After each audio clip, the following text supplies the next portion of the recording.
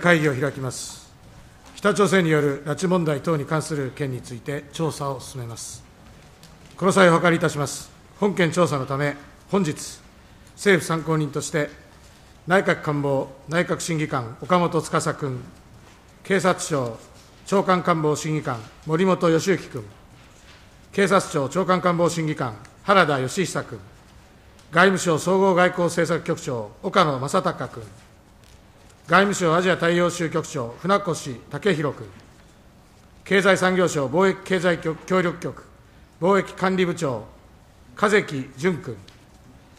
海上保安庁長官、奥島高弘君、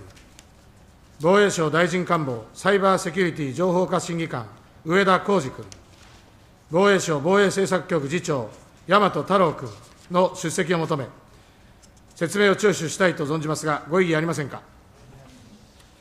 ご異議なしと認めます。よってそのように決しました。質疑での質疑の申し出がありますので、順次これを許します。